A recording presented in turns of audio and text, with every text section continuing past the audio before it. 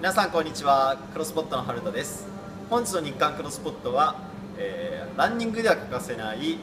音楽とランニングに必要なイヤホンについてお話ししたいと思います、えー皆さんはランニングしている時音楽は聞かれますか、えー私は結構聞くんですけど、えーそうした時にですねランニングした時に普通のイヤホンこれ着てるとつけてると、えー困ったことが結構あります。普通のイヤホンっていうと、えーこういうイヤホンですね、えーこういう、まあ、私もともと携帯についてたイヤホンなんですが、えーこれどうして困るか。これ例えばこうやってつけた時にランニングしながらバッと引っ張って落ちてしまったり。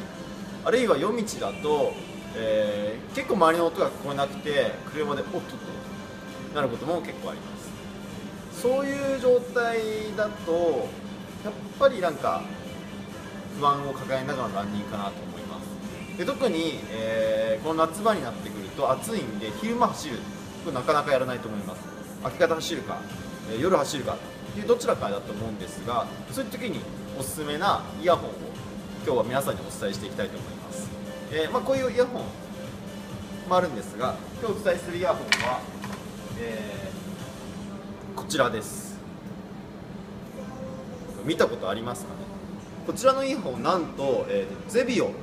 限定のイヤホンです。これ何がすごいかってあのスピーカーがないんですよ一切。わかりますか？スピーカーが一切ありません。えーどういうふうに音が聞こえるかっていうとこれ骨伝導って言ってこの部分が振動することによって骨から音が聞こえるという仕組みです。まあ、かけ方はこういう感じですね。耳のちょっと前になってあげると。こういう状態でランニングをするとこれもうパッと分かる分かると思うんですけどまずブレること一切ないですね。あと耳を塞がないので、えー夜道走っていても普通の音車の音自転車の音ラ他のランナーの音完全に聞こえるんで怖くないですね。まあ、ちょっとこの、えーまあ、減点、まあ、良くない点、良くない点、うんまあ、とすれば、えーまあ、iPhone、iPad、iPod、ここがメインになっていると。ちょっと Android の方は申し訳ございません。ただですね、これ、夏場、特におすすめな理由としては、こういったイヤホン、穴開いてるじゃないですか、スピーカーのところに。これが汗が入ってきて壊れてしまって結構あると思うんですよ。ただですねこれスピーカーではないんですだからいくら汗かいたところでこのヘッドホンイヤホンが壊れることはありません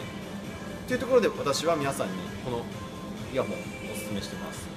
このイヤホンですねゼビオ限定なのでゼビオにいただければ大体のお店であるかなとは思います。色は3色ですね。白ピンク緑と。私使うのこの緑です。じゃあ皆さんも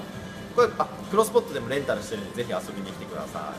い。ではまたよろしくお願いいたします。